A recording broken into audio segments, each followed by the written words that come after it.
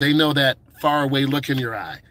They know if you've been at the beach all day and you're tired, or if you've been on a horse. I've had students who ride horses. They smell like horse poop. And they've been riding a horse, or they've been at the beach all day or on the boat.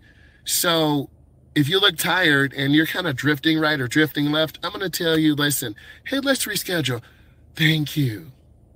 I'm so relieved. Good instructors have a good schedule in case the car breaks down, in case you get sick, or the car has a flat tire. I've had flat tires before. Once or twice a year, I get a nail in the tire. You've got to get it repaired. You can't stack up your drive. I'm going to drive 10 hours every single day. You're going to burn yourself out. So if your instructor is so tight on the schedule, he or she won't be learning loving and caring. L O V I N G. Caring. Because you have to give yourself. Your students will go over curbs. Your students will turn short. Your students will go in the wrong lane. As an instructor, you have to take control and you have to support your students. You can't scream.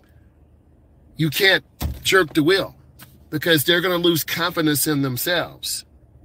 I need all of you to have confidence in yourself.